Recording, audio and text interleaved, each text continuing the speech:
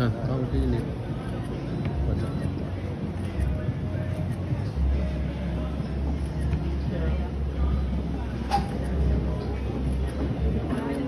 เออเราเห็นป้ายเนอะโอเคอ่าโอเคพี่โอมครับ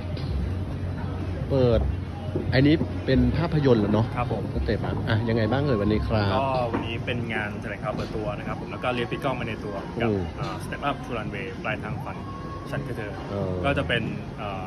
ที่ดัดแปลงมาจากซีรีส์แล้วก็เปลี่ยนครัมาบเป็นภาพยนตร์เออครับผมใช่ครับอันนี้ก็คือเล่นกับน้องน้องอเล็กซ์ครับผมอ่าก็จะเป็นการร่วมงาน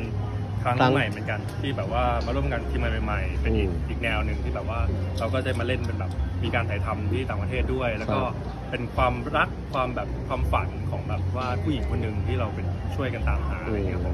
อืม ก็ฝากติดตามจะได้เข้าชมกันอะไรเมื่อไหร่ยังไงตอนไหนครับพี่โอมก็ติดตามกันวันที่ 22 กุมภาครับกุมภาพันธ์นี้ครับผมก็ในโรงภาพยนตร์ เราก็จะได้โปรกันเต็มที่ยังไงก็ฝากติดตามพวกเรากันด้วยมันไม่ได้มีแค่ผมกับน้องคนเดียวยังมีแบบเน็ตไอดอลยังมีดาราพี่พี่ๆดาราหลายๆท่านที่แบบว่าครับครับแน่นกันมากเลยครับ โอเค ขอบคุณครับ